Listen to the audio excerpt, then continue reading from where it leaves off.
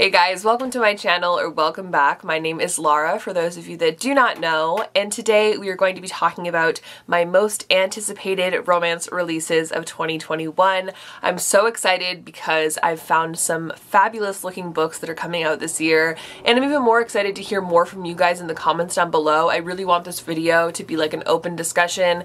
I want to hear all about the books that you're excited to read this year or that are coming out this year so definitely leave me a comment but I'm going to share with you guys 10 books I have found that I'm really interested in coming out this year. I have all of the books down on my phone, so I'm just going to go through the list, give a little briefing on why I'm interested in the book or what it's about, that kind of thing. But like I said, I really want to hear the books that you guys are excited about coming out this year. So tell me down below. I'm sure there's authors that I love and books that I would love that I've skipped over and just didn't even see in my researching ventures for this video. So definitely let me know. But other than that, I'm just going to get started and share with you guys my anticipated releases. The first book on my list is called The Architect by Nikki Sloan. This is the third installment in her Nashville Neighbors series, and I've read the first two, which I believe are The Doctor and The Pool Boy. I've talked about them on my channel before, um, but this is just a series of kind of like standalones, but they almost go together in a way um, about different relationships. This one obviously deals with an architect and his relationship.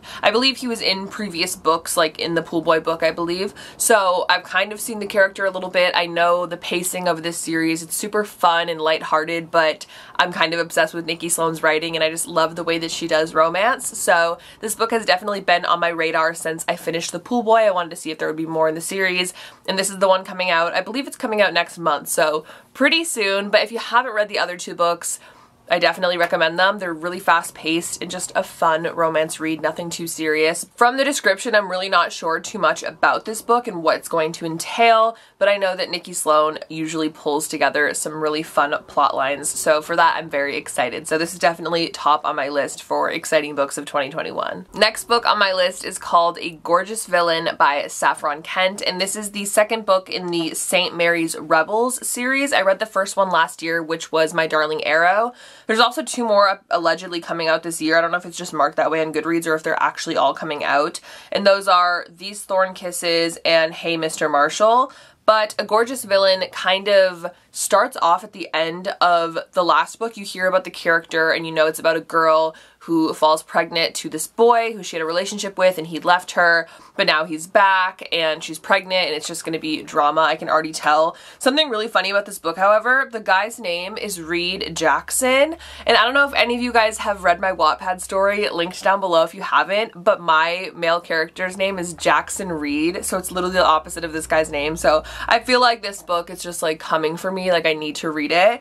Um, also regarding my book, I'm working on it. I'm gonna have a new chapter up soon, so don't don't even come for me in the comments but I'm really excited to read this. I love Saffron Kent's books. I've always been a fan of hers and whenever she has something new out I always flock to it and I'm always super interested to see what it is. So having a new series to kind of get to see unfold throughout the year by her is going to be something really exciting for me and I definitely recommend reading My Darling Arrow if you haven't yet. The first book in this series it's so so good. This next book I'm not sure if this is just wishful thinking that it is coming out this year. I think I did see the author post that it's coming out this year, but there isn't like a date. There isn't even a cover or description, but the book is Nice Guys Don't Win by Michaela Schmelzer, which is the second book in the kind of Bad Boys Break Hearts universe, which was a book I read last year and I was absolutely obsessed with it. Like literally one of my favorite books that I read last year.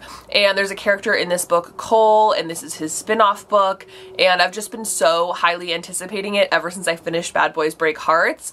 And I think Michaela did say it's coming out this year. Again, there's no date, there's no description. All I know is that is the book about Cole. So I'm very excited for this whenever it comes out just because I was such a big fan of the first book. So I'm just kind of trying to manifest that it actually comes out this year by putting it into this video. And if you haven't read Bad Boys Break Hearts, I highly recommend it. The next book isn't really a romance, but it's something that I'm highly anticipating for 2021, so I just wanted to throw it in the video. And it is called Take Me Home Tonight by Morgan Matson. And I love Morgan Matson. She writes really amazing YA contemporary novels, and I've met her a bunch of times. I think she's the sweetest person, and I always look forward to her new releases. This is her new release for the year. She usually comes out with books like every two or three years, so it's a little bit rare to see a book from her, so I am excited for this one. I believe it follows two best friends who are seniors in high school and they go to New York City to explore for one night, and I guess they find themselves in a bunch of trouble and do a bunch of crazy stuff, so I don't know, I just really love her books. I think they're so fun, and I always look forward to reading them, so definitely that's on my list for the year as well. The next book on my list is another one that doesn't really have a cover or a synopsis yet, but I just know that whenever it comes out, I'm going to be super excited. And it is called Falls Boys, and it's by Penelope Douglas. It's going to be the first in her Hellbent series, which is a spin-off of her Fall Away series, which I really love. It's like the book Bully is the first one in that series. Really, really love that series, so I'm excited to see anything new from her. You guys know I just really love Penelope Douglas's books in general. They're always just so well done and always have crazy plots that you just can't predict, which is what I love about them. So really excited for this series. I don't know when it's coming out. I don't even know who it's following or anything, but I'm definitely going to be keeping my eye out for it and I'm excited. Something else that I'm really highly anticipating is the final two books in the Blame It on the Alcohol series by Fiona Cole. I believe that Fiona announced that she's going to have like a trilogy style thing with three books and it's the Blame It on the Alcohol trilogy. The first one is called Blame It on the Champagne and it came out last year. I do still need to read it, but I know because it's Fiona Cole that I'm going to love it. So I'm going to read that one, but the other two are supposed to be coming out this year and I've just been highly anticipating anything that she's put out ever since I read her Voyeur series. So really excited to get into the first book and then eventually have the other two probably come out this year, maybe one this year, another next year, but we'll see. Um, but I'm super excited to read them nonetheless. I've heard great things about the first one. It came out a few weeks ago, so I'm definitely going to get my hands on that soon and read it. Um, also, just really randomly, I'm deciding to do monthly wrap-ups moving forward. So every single month you can expect a video from me talking about what I've been reading. So I know a lot of you guys always ask me like, what did you read this month or what are you currently reading? So I feel like that'll kind of keep me in check a little more with you guys on a more regular basis basis. So look out for that next week. But anyways, yes, the Blame It on the Alcohol series. Very excited for the next books. The next book on my list is called The Devil Wears Black by LJ Shen. LJ Shen is an author that I constantly get told to read, like constantly. I know she has like a really popular series, the Sinners of Saints series, and I haven't read it. I've tried to read Vicious, the first book in that series, so many times. Like I've opened it and read the first chapter probably six different times. Like I don't know what's wrong with me, but I just can't keep reading it. For some reason I just get stuck. Um, but this synopsis for this new book sounds really enticing to me and I want to try and read something by her. Um, and I believe that this is like a marriage of convenience slash fake dating trope book, which I always get asked for recommendations for, so I'd love to read more books like that. And I also think it's kind of enemies to lovers, so it sounds up my alley. I'm excited to see what it's all about.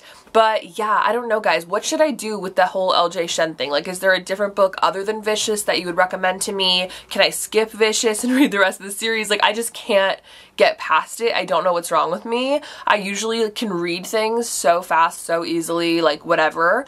Um, but for some reason this one book, I just can't, I can't get into it. I don't know what's wrong with me. So let me know about all that in the comments down below, please. The next book on my list is called First Comes Like by Alisha Rai. This is actually the third book in her Modern Love series. I haven't read the other two, but I think they're kind of like standalones, like you can read each one individually and it doesn't matter because I read the description for this book and it sounds so funny and just like something I would love. Basically, it follows a girl who's sort of like a beauty influencer on YouTube and she gets a DM one day from this man who's apparently like a really famous Bollywood actor and she immediately falls for him and they start talking but when this girl starts talking about it and publicizing it on her channel, the guy, the Bollywood actor, genuinely has no idea who she is. And so this person's been impersonating him basically, and he doesn't even know her, and she hasn't been really talking to him. It's been somebody else. So there's a whole like issue where that happens, and I'm assuming they actually end up meeting.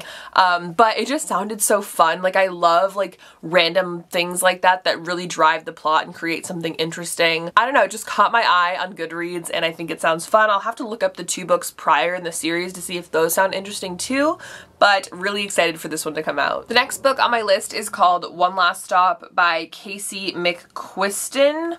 I hope I'm saying that right. This is the author of Red, White, and Royal Blue, I think is what it's called. That's another book that I really want to read. But this one, it's about a girl who lives in New York. She's like 23 years old and she goes on the subway every day and there's this girl that she notices on the subway who she's just so highly infatuated with and she's just so like enticed by her basically wants to get to know her but I believe there's like a kind of sci-fi element to this story in which this girl is actually displaced from the 70s or something. I truly don't know. Like I read the description and I was already confused because we all know that I really struggle outside of anything but contemporary.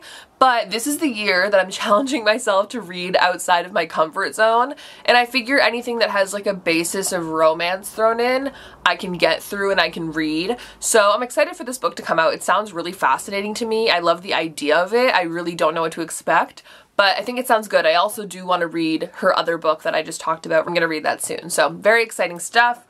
This one just sounds really interesting though. The last book that I have for you guys today is called The Soulmate Equation by Christina Lauren. I love Christina Lauren. They have so many fantastic romance books. So when I saw this one, I immediately got excited. They have a new one coming out. This follows a girl who is a single mom and there's this new dating website that basically uses like genetic DNA to find your perfect match. And the girl gets her result and it is the guy who actually founded the company and she actually knows him. And she gets asked to go on dates with him and she'll get paid to kind of get to know him just to do more studies for this website because the DNA match was so high or something.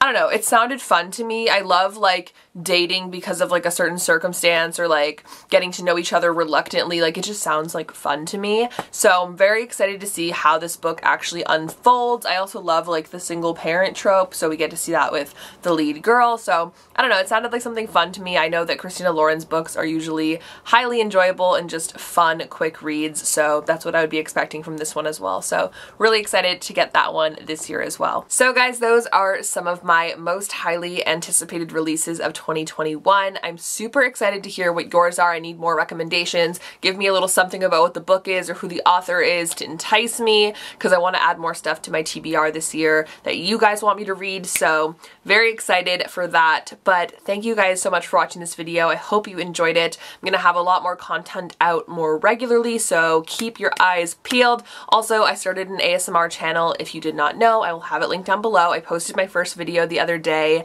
and I'm so happy that some of you guys are watching and enjoying it, so thank you very much. And if you haven't checked it out yet, check it out down below. Um, but other than that, thank you guys so much for watching. I will talk to you all very soon, and I hope you have a great day. Bye!